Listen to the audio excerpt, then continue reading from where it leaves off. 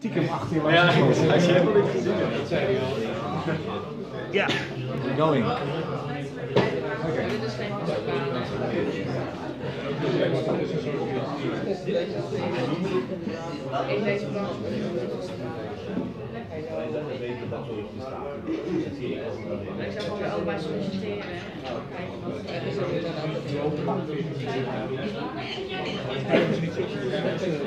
Ja,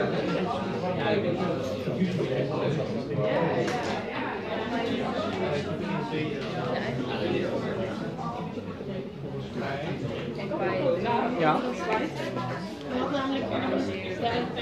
afgeleide. Wel goed in de richting van gewoon de afgeleide, niet per se de weg maar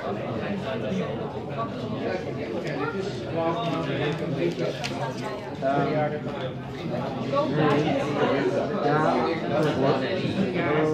is dat? hangt, dat heeft te maken met hoe je wat voor je technische kracht hebt. Het kracht tussen de is, de positieve kracht is, Dus, dus en als jouw energie een beetje verstoken heeft, dus als je laag gaat, dan dan heb je die tuin ligt veel te afgeleid. Nee, niet op richting Nee, maar nou ja. Oh, want de kracht nog wel. Oké, richting van de regen. Oh. Als je, als die zo loopt dan je zet wel zo staan naar beneden, en je niet zo goed, dan gaan ze... Dan gaan ze soms af. Ja. Maar dan is de richting, hoe, noem je dat dan de de Maar dan beweegt het toch. Nou, als je één deeltje vastzet, dan beweegt het andere deeltje naar rechts. Oh, als één deeltje is. Ja, precies. Ja, want als, als, als, als, als je as is, de- is de R, dus dan kun je eentje op de origin zetten. Oké, ja. Oké. Okay. There was a question during the coffee about uh, practice exams, and we had them already uh, uploaded to Canvas, but I just actually opened the corresponding folder. So uh, it's called Exam Preparation Materials, and it has the last four years of the exam there. Yeah. So we. Uh, we didn't want to put that up at the because there's a the balance to when and how much information uh, we, we give you guys. We give everything at the start, then uh, then you don't know where to start.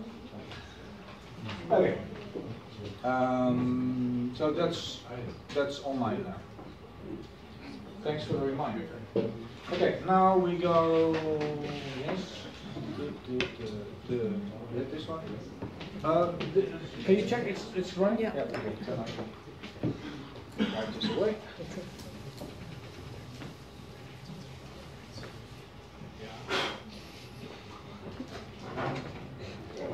Yeah, if it's a wiper and I put it there, I don't mind, but if it goes in my pocket.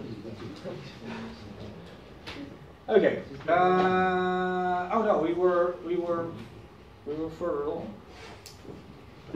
Had had somebody been going back, looking at the previous slides, or because we were here, right? Uh, sorry, here. Uh, so who figured it out without cheating? So what happens if you add these two up?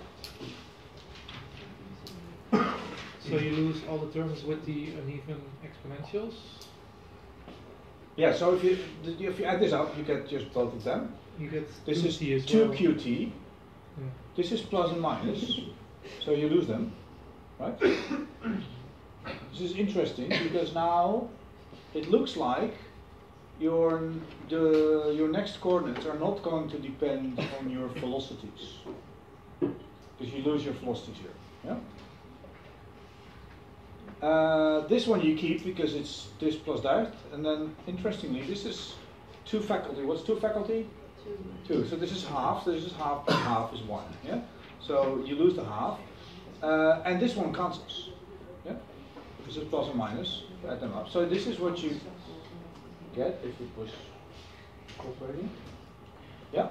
So you get uh, q t plus delta t, so the next coordinates plus the previous coordinates uh, equals 2 times the current coordinates. That's a strange value. Uh, plus 2 times a half uh, the acceleration times delta t squared. Yeah.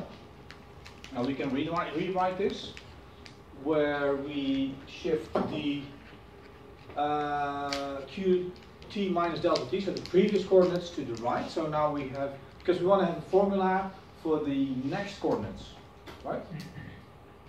So we have 2q q minus qt minus delta t, so that's the, the, the current coordinates, previous coordinates, times acceleration times delta t squared. Now the final thing we can do is to realize that qt minus qt minus delta t, so that's the current coordinates minus the previous ones. What is that? That's your velocity. It's different. That's like Eh, eh, eh, the velocity is your is your uh, derivative of the of the of the coordinate. This is your this is your discrete velocity. Yeah, this is just the difference, not the dif differential, but your difference. Yeah, but it's not the it's not the velocity at t or t minus delta t. It's actually the average velocity over that period, which is best approximated by the velocity halfway. Yeah? You, you get that? If your velocity is changing, if you're if you if you have your velocity as a function of time, yeah, and your this is uh, your your your your time t, and this is your next time step, and this is your velocity here, and this is your velocity there, yeah, then uh, sorry, coordinates, the coordinates, yeah, then your um, this difference is not related to this coordinate or that coordinate, it's related to your velocity halfway. It's the slope of this line in between. The slope of this line is your velocity. But the velocity could be changing as well. Yeah? Uh, is there not a delta t missing in the equation? Yes, probably. Yeah. Velocity times delta t. Thank you. Let me fix that. Mm.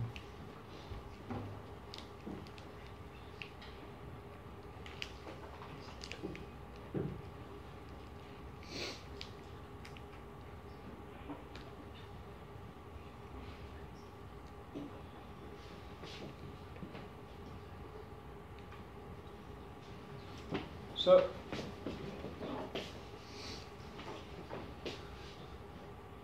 so no, to come back to your question, actually it, it's there. Okay, thank you. Um, so, um, so now the funny, so the interesting, th so now we have a nice formula. So the the coordinates of nice of the coordinates of the next time step are the current coordinates. I'm not sure about this minus. I don't like this minus here.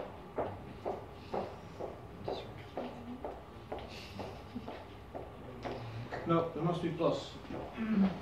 Sorry.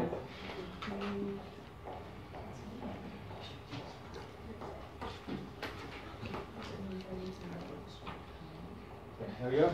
Uh, oh.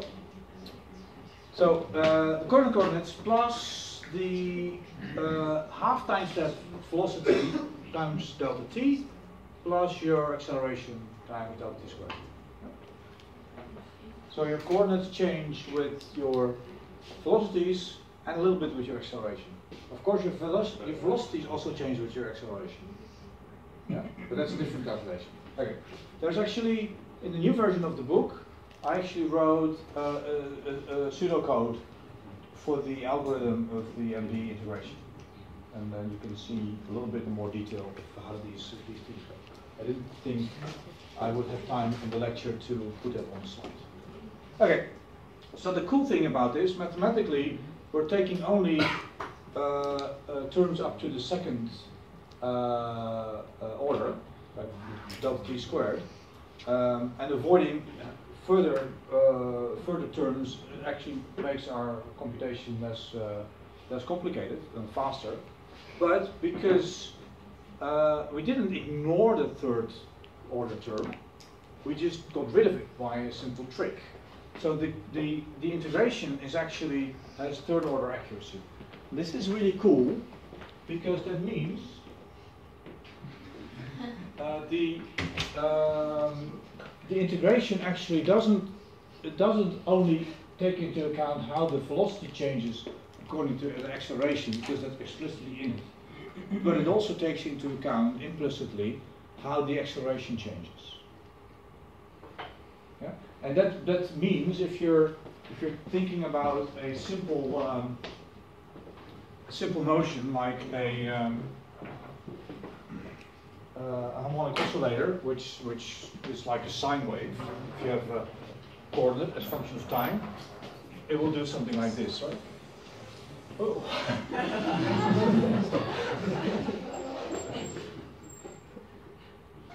yeah. So this is like a, this is what a harmonic oscillator will do. It's a sine wave or a cosine. ah. Okay. Cool. Stay. Yeah. So now you're what you're doing with your integration is that you're starting at, uh, at time t. You have a certain velocity, and then you say, okay, this is my going to be my new position. You have a certain velocity. This is going to be my new position.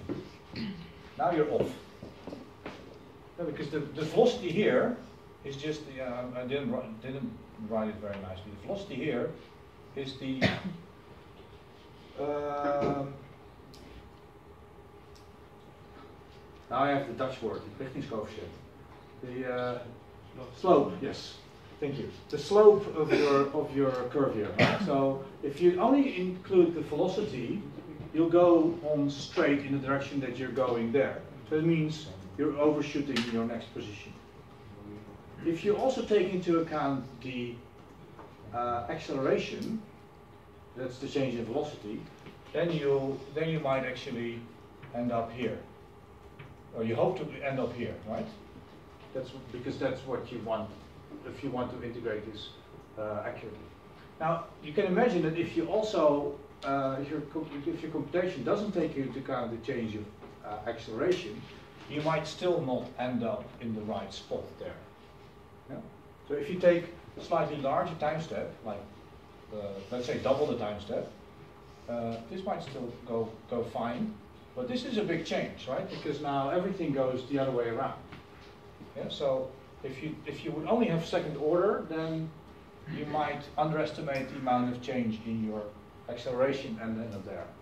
Or maybe you overestimate your, your change in acceleration and then you end up there. Yeah, so the, the, the, the Verlet integration scheme actually makes sure that you do include the, uh, the effects of the change in acceleration. So you end up, so you can actually, you can actually integrate uh, a harmonic oscillator with what actually looks like quite ridiculously large time steps, but something on the order like this. These are supposed to be equidistant in time, so that's just my uh, limited drawing skills. yeah? um, and so this looks maybe like it's too linear, but all the points are on the on the right curve. That's the important part. It doesn't really matter whether the you can draw a, line, a, straight, a straight line between these two points. Okay. Um, that's enough about integration accuracy. Other questions about this? No? Then we can go back to the slides. Then uh, a little bit about efficiency. Um, the limit actually, for uh, as I showed here, the limit of your time step is, is related to your uh, vibrational frequency. And that means if you're simulating even protein system, whatever vibrates the fastest uh, will be the limit to your time step. There's all sorts of fancy tricks where you say, oh, but there's only fast vibrations here, so I do extra time steps here, but only slow time steps uh, in the other part of my system. That, that's possible in some cases, but it's tricky.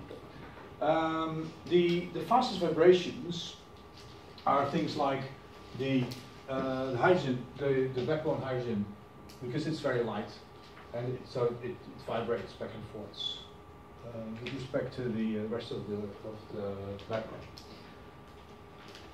And this is on the order of 10 fe- femtoseconds vibration frequency. So it means uh, you need about uh, one or two femtosecond time step to get uh, reasonably accurate uh, integration. About five.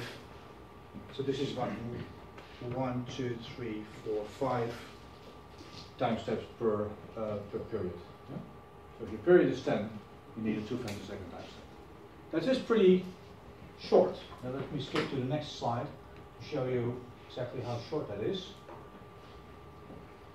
Um, two femtoseconds is about here, well, actually lower.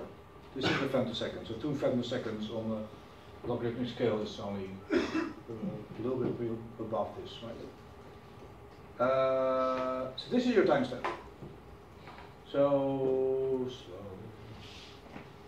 So if you do uh, a billion integration steps, 10 to the 12, then you've arrived at microseconds, and that's where you see the first hints of what might be biologically relevant functional protein motions.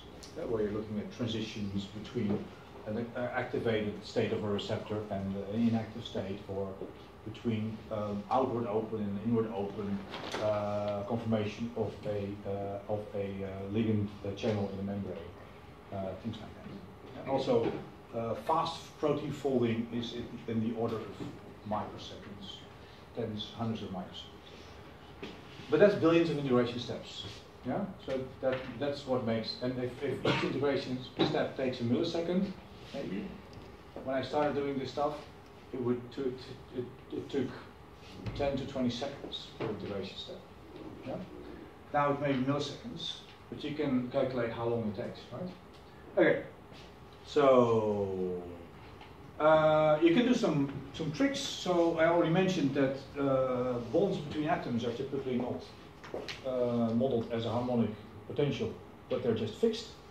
Uh, bonds with hydrogens uh, should also be fixed. There's a, I, I actually did a paper uh, almost 30 years ago uh, to work out how to do that nicely in, in protein molecules. So you can remove this, uh, this uh, not just the bond vibration, that's easy, but also the angle vibration.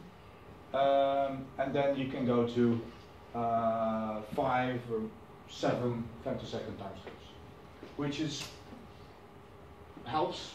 It's a factor of three uh, compared to, two femtosecond time steps. So that means uh, you you don't need uh, a billion time steps, but but only a few. Uh, what does it say? Trillion. You don't need trillions of time steps, but only a few hundred billion time steps. That's sort of a lot better. Yeah? But it, to put it differently, you don't need three months of simulation time, but only one month. Yeah? Okay. Or you, you still use the three months, but you simulate three microseconds instead of one. Or yeah. Anyway, it's it's an increase in uh, in efficiency. I was just thinking the other day, would that paper be because it's actually my most cited paper. Would would would I be able to calculate whether that has an effect on the carbon footprint of the uh, of computational uh, modeling? I'm, I'm, I'm not sure because I'm pretty sure that actually most people will just use their three months of CPU time and simulate longer instead of simulating shorter. So I don't think it will actually have an effect on that. Okay. Um, so where is where is most of the computational work going into in a simulation? Any idea? We already saw a hint of that in the force field, right? So it's not the bonded interactions because they're just linear with the number of atoms. It's the non-bonded interactions because they're quadratic. Yeah, and of course you can, there's some tricks to, to limit that, but it's still quite a lot of interactions. So where do you find most non-bonded interactions in your protein system? Hmm? At the surface. So interactions with what? With water. So the protein water interactions are the are the dominant thing in the in the computational uh, uh, You're close, but you're not quite there. Because if you have, if you have, let's say, a thousand atoms of protein, and you want to put a bit of water around that, how many atoms of water would you have? Let's say 10,000 at least, yeah? Uh, probably more like 50 or, or 1,000 or so. But let's say 10,000, right? So that means you have uh, on the order of 1,000 times 10,000 protein water interactions. But you have 10,000 times 10,000 water water interactions. So about 95 to 98% of all the calculation in your protein simulation is just interactions between the water. They're completely uninteresting. But if you don't do that, the water doesn't behave like water. And if the water doesn't behave like water, the protein doesn't behave like a protein. Or it behaves like a protein in something that's not water. Since we're interested in the biological properties of the proteins, typically in water or a watery environment, uh, so we need to get the, the, the water to behave. So uh, to make it visible, this this is what a protein in water looks like. If you was were looking carefully, so you might have seen water at some point in your in a, in a structure. It's typically drawn. I should have made the delay a little bit larger. It's been too slow all the time, now so fast. Because here you see water in this the first second you see water as lines, right? Then it doesn't look like so much. But if you draw them with their with the atoms with their van der Waals radius, then it looks like this. All the red is uh, is the uh, oxygens in your water. The white is hydrogen. If you look very carefully, you can see like a fraction of one protein atom here and a fraction there. Okay, so this is uh, this is a visual visual impression of how much water you need in a typical protein system to uh, to be able to simulate it. Okay. Um, there's some more tricks we can do to improve uh, performance. We already covered the fact that interactions are pairwise and they're, they're symmetrical. So that means if you know Fij, you know Fji. Uh, we can uh, approximate our normal interactions uh, up to some distance, or from some distance onward as being zero, so we can ignore a lot of these ij uh, quadratic terms. Um, and, that, and the cool trick is to actually consider that atoms at a long distance, but the, uh, the atoms that are further away in the system, they, they move, but uh, their movement is very small compared to the distance that they have. so that also means that the interaction between them doesn't change that much. Yeah, so you can actually uh, only update those longer interactions every 10 steps or so. Because the, tiny changes in, it will move like maybe 0.01 angstrom at a distance of 10. That's completely negligible in terms of the change in, the interaction. so you do this update only uh, every so many steps. Um, and related to that is the fact that you actually need to calculate the distance. Oh, correct. And uh, the distance mean, means uh, square root. And the square root is expensive to calculate. And also because you need to do it for uh, all pairs of atoms. So how? So now there's a. Uh, do I have time to go into that? Nah. Sorry. Um, but think about how would you know which atoms to include in your long-range interaction uh, if you want to say, okay, I, I calculate everything up to two nanometers and I ignore everything beyond two nanometers, but you still have to calculate the distance to know which atoms are beyond two nanometers. There's a trick to that, it's called neighbor searching. Uh, or it's, it's called actually grid searching, neighbor searching. yeah. Okay. Uh, ask me during the practical if you're interested. Um, then there's all sorts of uh, more fancy uh, things for uh, large distances. There's all sorts of technical stuff that I was already flashing by. Uh, this is not so important anymore. C has become C compilers have become very good, but people used to use Fortran to make it faster. Even assembly code that's still used, particularly for GPUs. GPU compilers aren't very good. Uh, so if you write the GPU assembly code yourself, you can improve by 5 to 10 fold often. Uh, things about cache performance and so on. The GPU is already mentioned. Okay. And uh,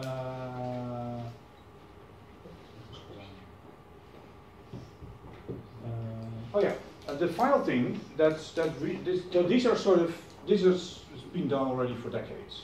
Um, if you really need to go to longer timescales, you you basically have no well, or the, either you have to be very very patient.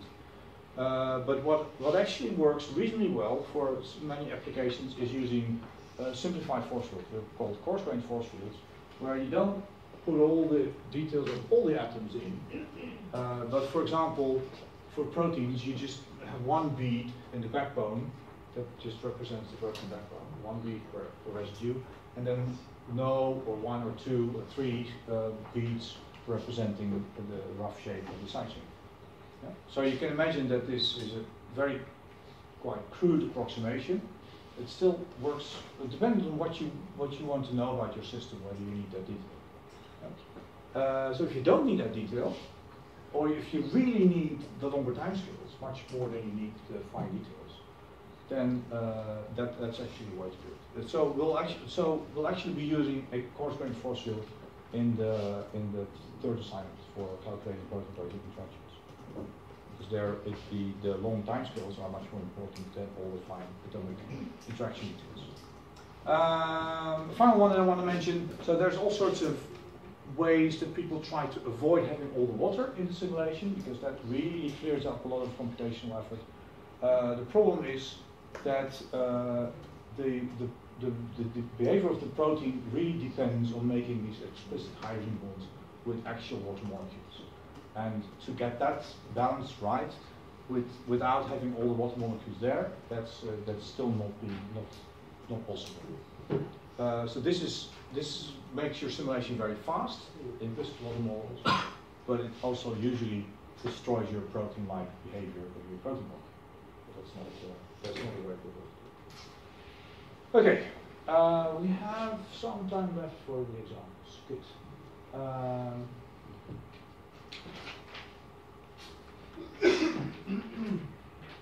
I'm just gonna try another battery. This was the one I, one of you gave me last, last time. She would be empty over here.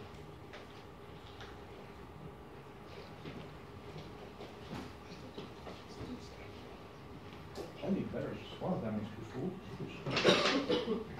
Um, okay, so uh, I think I showed you this protein before. It's a, it's a cytochrome P450 uh, bacterial uh, cytochrome P450 enzyme. Uh, uh, all, I think all, all living organisms have, have them. They have a major role in detoxifying uh, compounds that, that come from the environment into the cell. Um, and this one actually, no. this one is really bad. Ah, so annoying.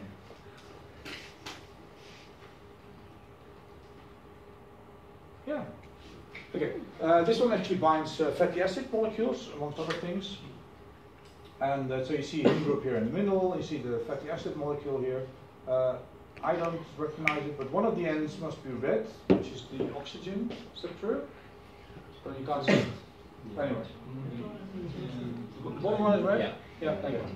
I already can't see. Uh, so that's the uh, that's the oxygen of the carbonyls. Hmm? You turn it like this. Turn the light, yeah.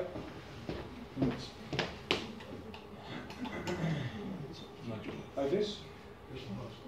Yeah. Okay. Uh, now I want to start it again. Oh. Yeah, here. Uh, so this is actually the result of mole- molecular dynamic simulation, right? And uh, um, it's been done quite a while ago. You, you recognize helices, uh, beta sheets, and so on. Uh, one important thing to notice is that everything is moving all the time. Yeah? Um, but the overall structure is quite stable. So, for example, you see this helix at the top, where the, the, the right end actually moves out of the frame.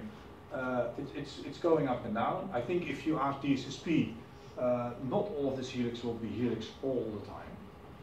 But the overall shape of the helix is, remains stable. So it fluctuates out of helix and back into helix again. Um, so that's that's one uh, sort of major feature of uh, of, of uh, molecules at this uh, at this atom atomic scale that uh, everything fluctuates all the time, but it's still stable.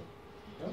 And this also this is also why we need to consider the, the statistics of uh, of all these conformations to be able to say anything about the stability of the molecule. This is entropy in action.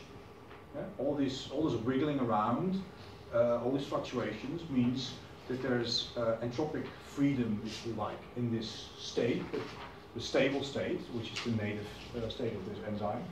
Um, there's a lot of um, emotional freedom for the molecule to fluctuate. And if it doesn't have that, if you force it to be rigid, then it has to be very energetically stable to be able to, to be stable, right? Um, but uh, that means you probably can't break it down.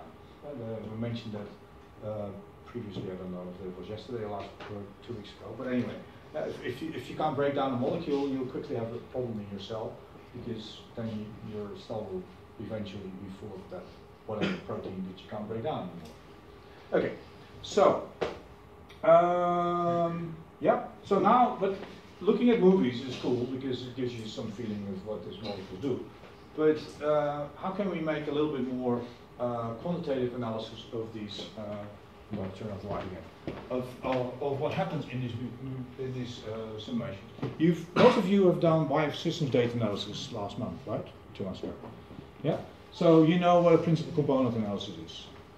Yeah. So you look for for basically uh, correlated um, uh, correlations between the uh, input data that you uh, that you're the data set that you're looking at. Now, if you if you consider your atomic coordinates as just another set of uh, of data vectors, you can do PCA. Well, not directly on the atomic coordinates. You do it actually on the on the covariance matrix of the atomic coordinates. Uh, then you get something that's used, that's called uh, by some people essential dynamics analysis. But it's just principal components of your atomic motions. And the cool thing is that uh, you can immediately get sort of a, an intuitive feeling of what these eigenvectors mean, because they're just collective modes of motion. But it's just if you go along this eigenvector, it means there's a lot of there are a lot of atoms that are moving uh, together with each other. Not all of the atoms will move uh, the same amount of uh, distance. Some move more, others move less. Uh, some move in one direction, others move in a different direction. Yeah, but they move all together. So this looks a little bit like, yeah, like this. Yeah, so you can actually, like you do the simulations, you can visualize uh, this eigenvector, um, and it looks like this. So you can see actually here, this, this big fluctuation of this uh, helix at the top is actually correlated with this sheet part at the bottom left, which is moving uh, sort of counterclockwise or counterwise compared to the other one. Right? You can't, you don't have a direction here anymore because you don't know from from this analysis you don't know whether you're moving right in this eigenvector or left. Yeah. And then you can look at a different eigenvector, like the second one. Um, it will take a while, for whatever reason. Should come up. It probably comes up as soon as I'm there.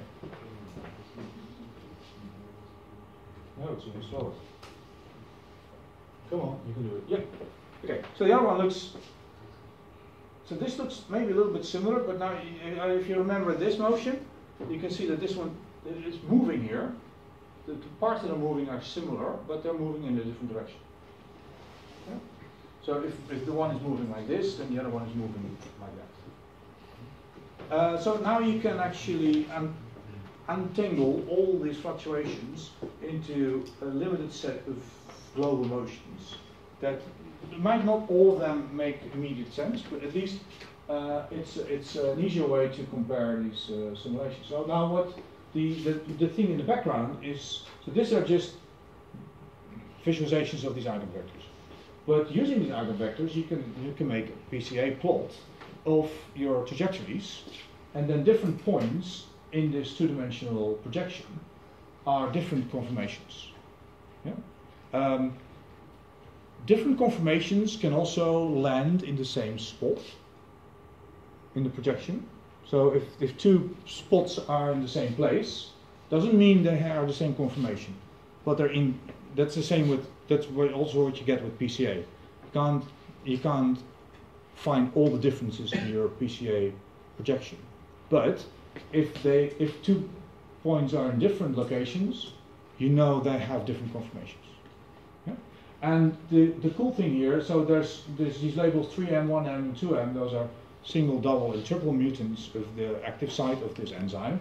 And you can see, and there's a couple of triple mutant simulations here, and a couple of double mutant simulations, and a couple of single mutant simulations. The white is the wild type, by the way. It could, could be labeled 0M. Um, and you can see that they do different things because they move in different directions in this plot, but also literally in, in, in the simulation, which is almost impossible to, to actually see when you're looking at these. Because if, if your brain looking at these fluctuations of, of, of, this protein structure, it just, we just see fluctuations. We can't, our visual system is not, uh, not trained, not developed to be able to understand that it's actually mostly these two motions on top of each other with a lot of noise, and that this can be different between different simulations. We, don't, we can't see. Okay, so this is uh, essentially dynamic analysis, which is my first tool of choice uh, to analyze and these simulations. You've also uh, heard of RMSD, RMSD, mean square deviation. Yeah. So one way to, to think of uh, to think of, of an essential dynamic plot is like a two-dimensional RMSD analysis because you have two directions in which your conformation can change. Okay. Uh, this is one example. The other one is actually uh, the homology model, model optimization that I already mentioned uh, earlier. And we actually do have a few minutes. Oh, uh, um, so this is what it looks like. It's also an enzyme. Uh, I, I, before I became a postdoc in group 20 years ago, I was postdoc in, at uh, chemistry here at the VU. Uh, this is chemistry or looking at enzymes. Um, and um, so this is actually the enzyme. It's a it's a monooxygenase, so it oxygenates oxygenates uh, an organic compound. It's a styrene in this case, um, and it, it needs a, an FAD cofactor, which you can see over here. And uh, the thing was that we didn't have a structure. So for the other one that I showed you before, we had a crystal structure. For this one, we didn't have a crystal structure, but there was uh, uh, there was there was a homologue with about 18% or 20% sequence identity. That's fairly low. Uh, fortunately, most of the uh, active site um, region and the cofactor binding site were much more conserved than that. They were about 50% identical. So that's nice because that means that you, it's, uh, you know at least that you get the alignment of those parts of your structure correct. And you, you all know from, from the previous assignment how important it is to get your alignment correct. Small changes in your sequence alignment have huge impacts in your structure. Right? So I didn't have to worry about that too much, certainly not in the active site region. And if you're a chemist, the active region is basically the only, only uh, area that you care about because the rest is just fluff. Yeah? Um, also, maybe from a, from an evolutionary point of view, uh, you can look at it that way. Because if the if the the catalytic function is what the protein does, uh, who cares about the rest of the protein as long as it supports whatever you need to be doing in, the center. Okay, so that's the, uh, the background here. Uh, five minutes at most. Okay, so what we did here, so we built this rough uh, homology model, we docked in the styrene molecule and a couple of other known uh, ligands, and they, um, uh, they, they, came, they came in, they, they fitted in the active site cavity, but not in the right orientation. I won't go into the details, you can ask me later if you want. So that's why we started to do this, this MD simulations, and I came up with a scheme which I call controlled release optimization. So you first uh, you put restraints on all the on all the atoms so that they can't move too much, uh, and you first put restraints on the whole protein. Then you simulate uh, for about one picoseconds uh, to to uh, to allow the water around the protein to settle down. So you get the interactions, either hydrogen bonds at the surface to get them right and so on. Um, then I made a distinction between the binding residues, so the residues around the, the ligand binding site and the, um, uh, the cofactor binding site, because I kept them fixed. But I released the side chains of all the, let's say, peripheral residues. So they could relax uh, and find good conformations and hydrogen bonds and packing and, and so on. Um, then I released also their backbones, so the users could start shifting a little bit or, or distort or uh, adapt. Uh, and then and then simulated a little bit longer, and then finally I released uh, only the side chains of the uh, binding site residues, still keeping their backbone fixed, so that the side chains would allow, would first be able to um, settle down uh, without changing the overall structure of these binding sites. And so this was my uh, this was my uh, uh procedure. The link is, uh, is down, down here. Then um, I did a couple of uh, free MD simulation unrestrained, just from from this final structure, um, and I docked the ligand in, and then I found actually it was docked in the right orientation. The right orientation here. So this ligand is flat, it's symmetrical, but it binds in one orientation so that the product is actually chiral. You get one stereo enantiomer of the product. If it binds in the wrong, the, the wrong orientation, then you get the other stereo isomer. And experimentally, it was known that you like hit like 98% of of this or of the product that you that you would expect from this orientation. that's how we knew which orientation we had to get. Um, okay. So then, uh, so to actually, oh, to actually visualize what happens during the, uh, the optimization, I again used this essential dynamics analysis, and uh, that looks a little bit like this.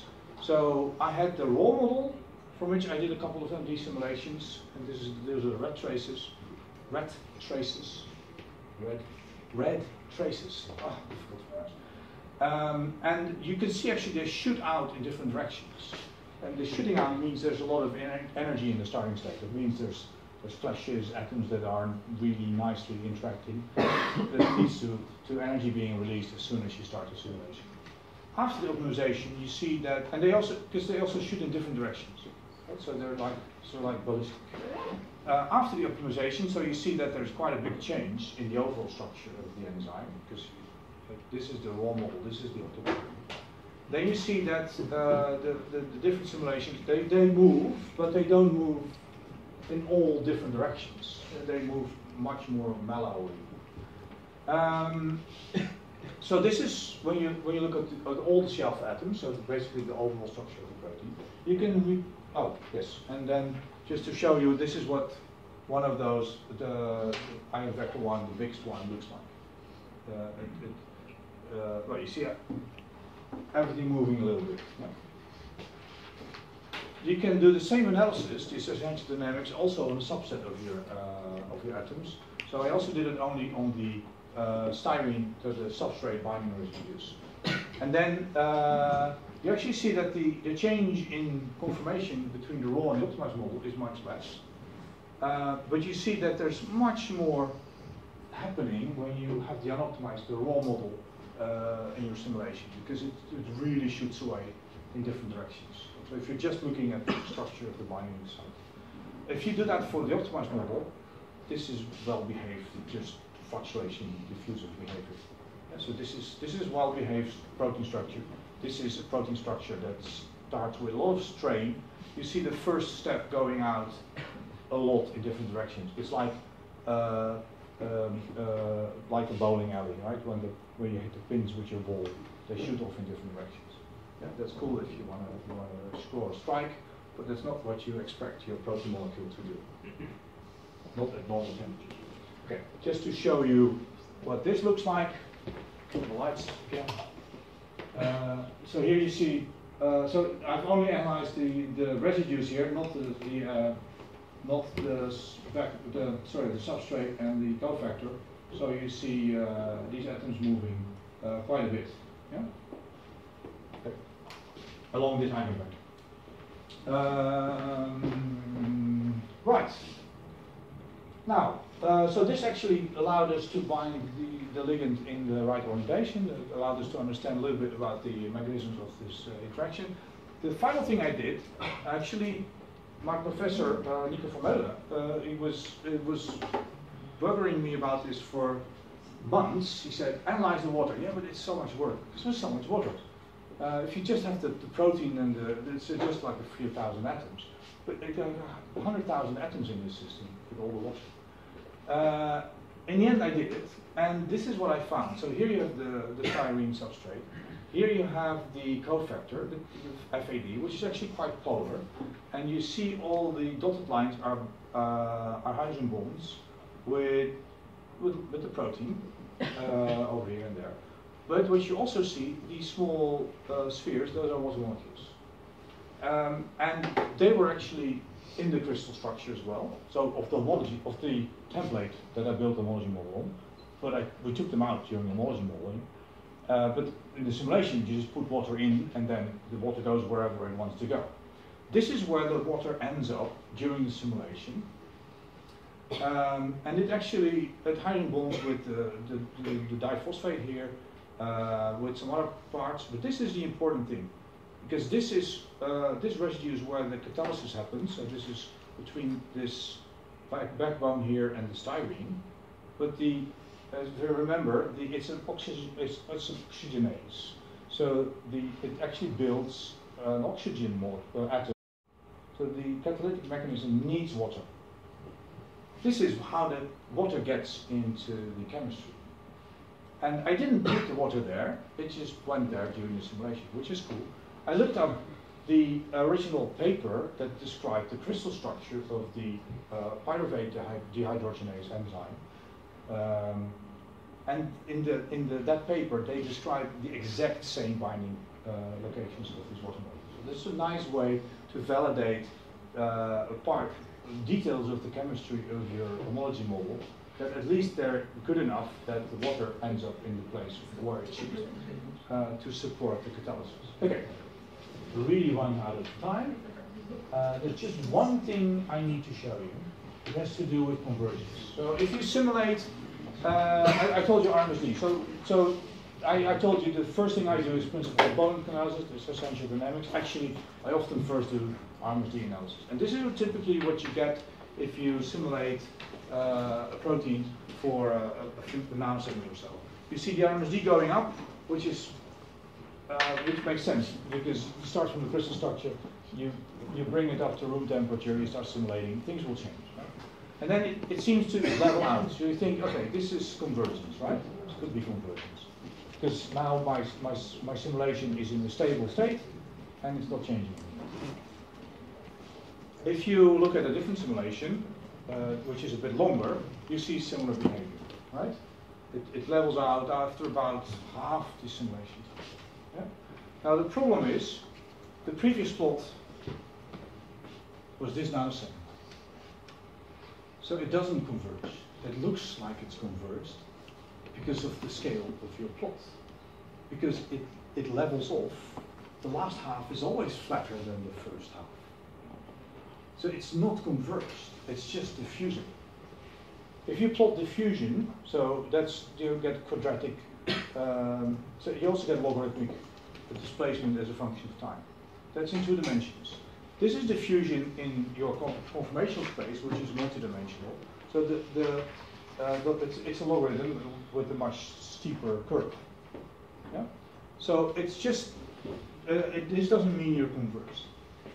And uh, if you look at uh, even shorter, so the first 100 picoseconds of the first simulation, you see exactly the same behavior. So uh, this the, I, I, show you because there's still people publishing papers showing an RMSD plot of maybe 10 or 100 nanoseconds of a protein simulation, and you say, look, it's stable and we've reached an equilibrium. This is BS. Yeah, I'll say it out loud.